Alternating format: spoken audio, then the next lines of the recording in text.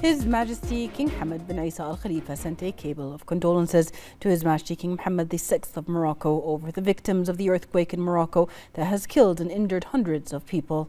His Majesty King Hamad expressed sincere condolences to the Moroccan King people and the victims' families, praying to Allah the Almighty to bestow His vast mercy and forgiveness upon the victims and grant their families and loved ones solace and patience, wishing those injured speedy recovery. His Majesty the King affirmed the support and solidarity of the Bahraini government and people with Morocco in overcoming this natural disaster. His Majesty King Hamad bin Isa Al Khalifa directed the Royal Humanitarian Foundation, the RHF, to dispatch urgent humanitarian relief aid to the Kingdom of Morocco to help alleviate their suffering in the aftermath of the earthquake that hit several regions in Morocco. His Majesty King Hamad's initiative reflects the strong historic ties between the Kingdom of Bahrain, the Kingdom of Morocco, and their people, and is an embodiment of the Kingdom's approach of solidarity with other countries in such difficult times. His Royal Highness the Crown Prince and Prime Minister Prince Salman bin Hamad Al Khalifa sent a cable of condolences to His Majesty King Mohammed VI of the Kingdom of Morocco following the earthquake in Morocco which left casualties and others injured. His Royal Highness the Crown Prince and Prime Minister offered his sincere condolences to His Majesty King Mohammed VI to the relatives of the victims and the people of Morocco, praying to Allah the Almighty to bestow His vast mercy and forgiveness upon the victims and grant their families and loved ones solace and patience, wishing those injured speedy recovery. His Royal Highness affirmed the support and solidarity of the Bahraini government and people with Morocco in overcoming this natural disaster, praying to Allah the Almighty to protect the Kingdom of Morocco and its people. His Royal Highness the Crown Prince and Prime Minister sent two similar cables to the Crown Prince of Morocco, His Royal Highness Moulay Hassan, and to the Prime Minister of Morocco, Aziz Akhannouch.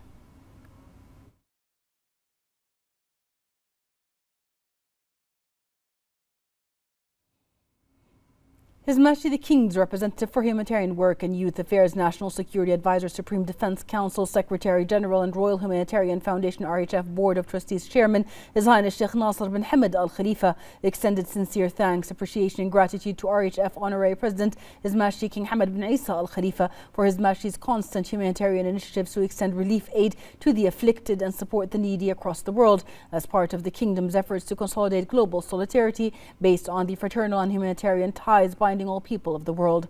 His Highness Sheikh Nasser commended the great support accorded by the government led by His Royal Highness the Crown Prince and Prime Minister Prince Salman bin Hamad Al Khalifa to the RHF, affirming the Foundation's readiness to implement His Majesty the King's directives. His Highness Sheikh Nasser emphasized Bahrain's solidarity with Morocco to help alleviate the suffering of those affected by the quake based on human duty required by the Islamic religion, the authentic Arab traditions, and the solid Bahraini Moroccan relations. He prayed to Allah the Almighty to protect Morocco's leadership and people and rest the souls of the victims in eternal peace, wishing the wounded a speedy recovery.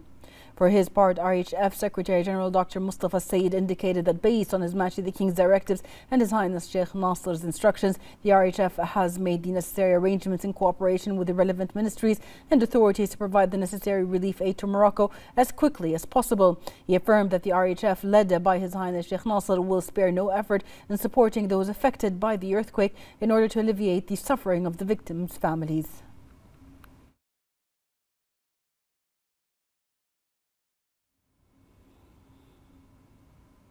A powerful earthquake struck Morocco last night, measuring 7 degrees on the Richter scale, resulting in the deaths of hundreds of people and causing damage to buildings from villages in the Atlas Mountains to the historic city of Marrakesh. According to a statement issued by the Moroccan Ministry of Interior, 1,037 people were killed and 1,204 were injured. Moroccan television broadcasted scenes after the earthquake as many people remained outside in fear of aftershocks. The footage also showed emergency workers climbing over piles of rubble and collapsed walls in search of survivors. The epicenter of the earthquake was located 80 kilometers in the province of Haouz, southwest of the city of Marrakesh, and was felt and by residents of Moroccan cities within a radius of 400 kilometers.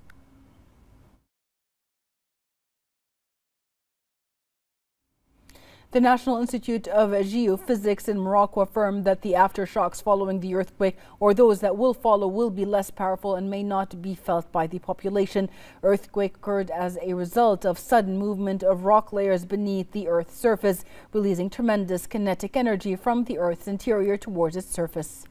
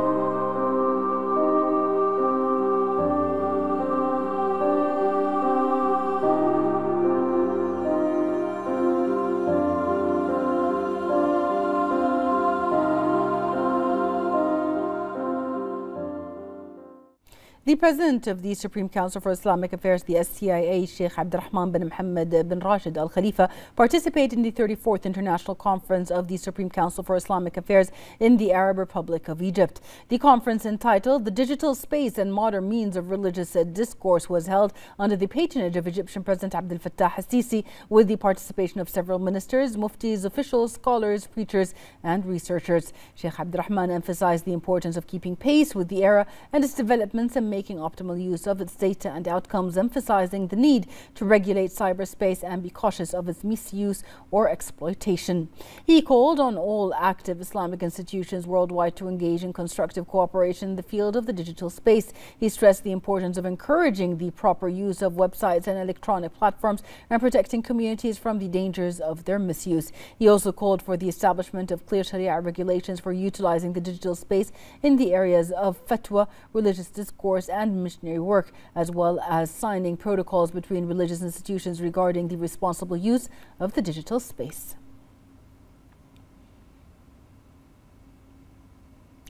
Speaker of the Arab Parliament Adil bin Abdurrahman Al Asumi emphasized the importance of establishing an advanced and modern legislative system with the aim of safety employing modern technology in the service of religious discourse. He emphasized that the legislative system should preserve the principles and foundations of Islam and also be compatible with the features of Arab and Islamic societies.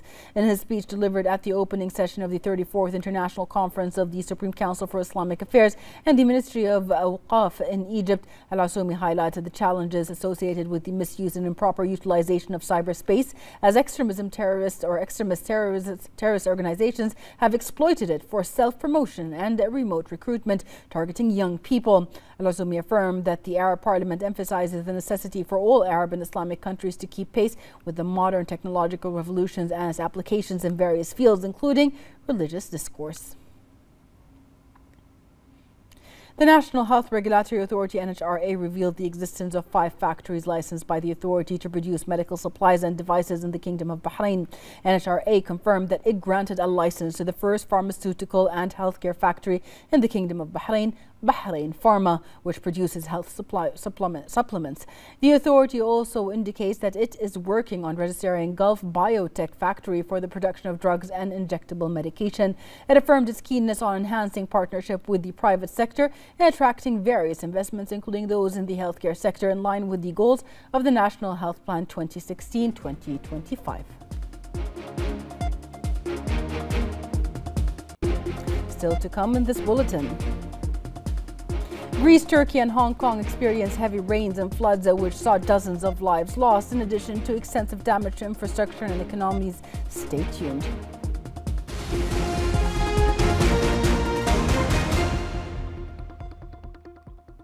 The 18th G20 summit was launched in the Indian capital New Delhi under the slogan One Earth, One Family, One Future. At the summit, leaders will discuss key issues related to trade, climate, energy, and other global problems. More than 30 heads of state and other top officials from the European Union are also set to attend the summit alongside several other delegates from invited guest countries. The summit will also be attended by 14 heads of international organizations, Saudi Crown Prince His Royal Highness Prince Mohammed bin Salman, U.S. President Joe Biden, British Prime Minister Rishi Sunak, Canadian Prime Minister Justin Trudeau, and Japanese Prime Minister Fumio Kishida are among the key leaders attending the event.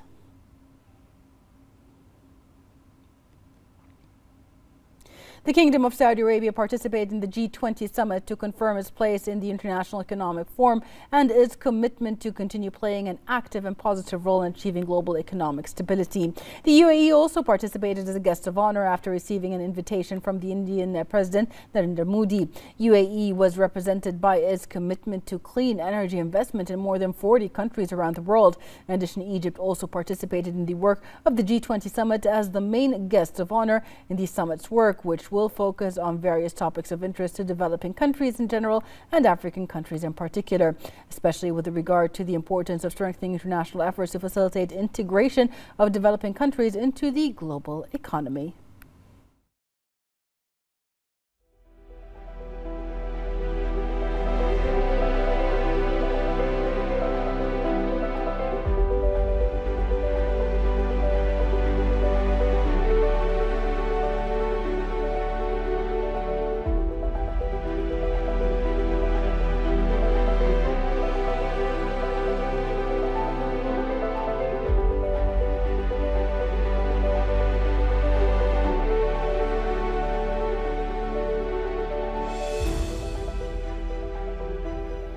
Many countries around the world are facing extreme weather patterns, particularly due to climate change and environmental disasters.